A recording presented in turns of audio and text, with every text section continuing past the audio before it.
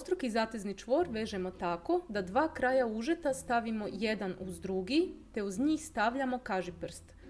Zatim uzimamo onaj kraj užeta na koji pokazuje kažiprst, te ga omotamo dva puna kruga oko oba užeta i oko prsta.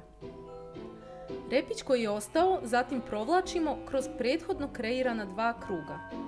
Pri tome pazimo da uže provučemo u smjeru u kojem je pokazivao kažiprst. Ovime smo dovršili prvu polovicu ovog čvora.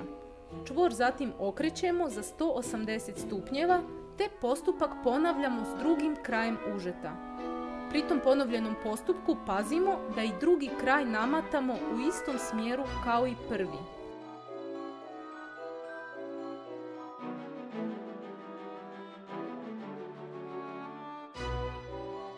Čvor na kraju zategnemo povlačenjem dvaju krajeva užeta. Dva čvora se moraju zategnuti jedan prema drugome.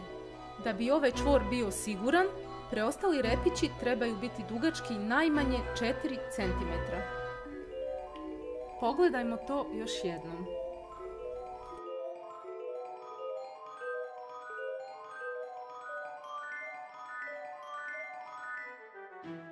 Dvostrukim zateznim čvorom možemo spajati užad bez obzira na to jesu li iste ili različite debljine.